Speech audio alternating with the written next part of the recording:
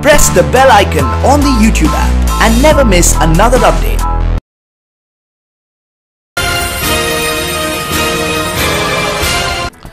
अलवर के थाना गाजी में हुई विवाहिता से सामूहिक दुष्कर्म मामले में पुलिस ने सभी पाँच मुख्य आरोपियों सहित एक वीडियो वायरल करने वाले आरोपी को गिरफ़्तार कर लिया है एडीजी विजिलेंस ने एक प्रेस वार्ता में यह जानकारी दी 26 अप्रैल को अलवर के थाना गाजी में पति के सामने पत्नी से पाँच युवकों द्वारा बलात्कार किए जाने का मामला इन दिनों सुर्खियों में बना रहा। इस मामले में पुलिस की कार्यशैली पर गंभीर प्रश्न चिन्ह लगे थे। पुलिस द्वारा देरी से मामला दर्ज करने व चुनावों तक इसे दबाए रखने जैसे गंभीर आरोप लगाए गए थे। छह तारीख की शाम को इसका वीडियो वायरल हुआ, जिससे पूरे प्रदेश में हंगामा मच गया। इससे अलवर एसपी राजीव पचार को एपीओ कर दिया गया। साथ ही एसएचओ सरदार सिंह को भी निलंबित किया गया।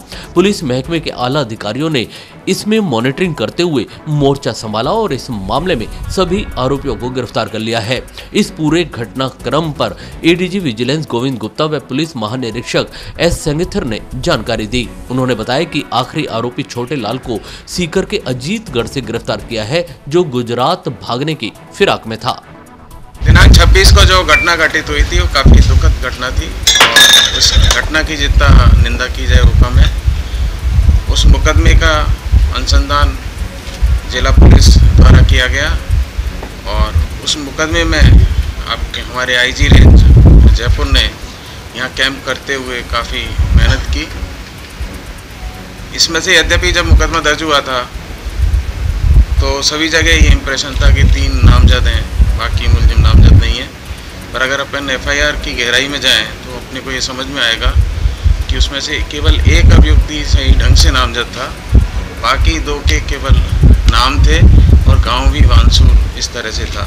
तो प्रैक्टिकली अपन उस हिसाब से अगर एनालिसिस करें तो उस वक्त एक मुलजिम तो नामजद था, पर बाकी दो नामजद इतने स्पष्ट नहीं थे। तो इसलिए मैं इसलिए बता रहा हूँ कि ऐसी परिस्थिति में मुलजिमों को ढूंढना एक बहुत ही कठिन कार्य था।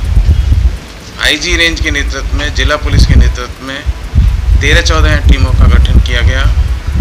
डीजी साहब ने भी, हमारे महानिदेशक महोदय ने भी, सरकार ने भी इसका काफ़ी गंभीरता से पर्यवेक्षण किया और बहुत ही रेगुलरली इसमें फीडबैक लेके प्रगति का जानकारी रखी, मार्गदर्शन भी दिया और संसाधनों का और हर तरह से सहयोग प्रदान किया। उसका परिणाम ये हुआ कि हमारे जितने भी वांछित अभियुक्त थे इस केस में, आज शाम तक सभी गिरफ़्तार कर लिए गए हैं और जो आखिरी है उसको दस्तयाब कर लिया गया है।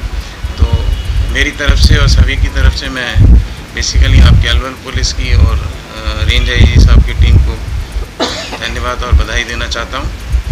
और इसमें, इस मुकदमे में गिरफ्तारी के बाद हमारा प्रयास ये रहेगा, पुलिस मुख्यालय का प्रयास ये रहेगा, जिला पुलिस का भी प्रयास ये रहेगा कि इस मुकदमे की तफ्तीश की गुणवत्ता सही सुनिश्चित करते हुए हम जल्द से जल्द इसका चालान पेश करें और चालान पेश करें और हमारी बेसिकली प्रयास ये रहेगा कि अपराधियों को इस तरह के घिनौने कृत्य को के लिए सख्त से सख्त सज़ा दिलवाने में हम जितनी भी इमदाद कर सकते हैं, व्यवस्था की, न्यायिक व्यवस्था की इन्वेस्टिगेशन में को सही करके या साक्ष्य को संकलित करके ढंग से प्रस्तुत करने के रूप में हम करेंगे।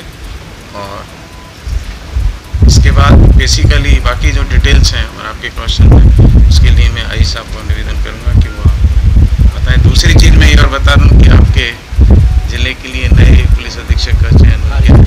हाँ परीश देशमुख, वो लग है, अच्छे अफसर हैं, वो मेरे पास बारह में भी रहे नामन में भी एस पी रहे Press the bell icon on the YouTube app and never miss another update.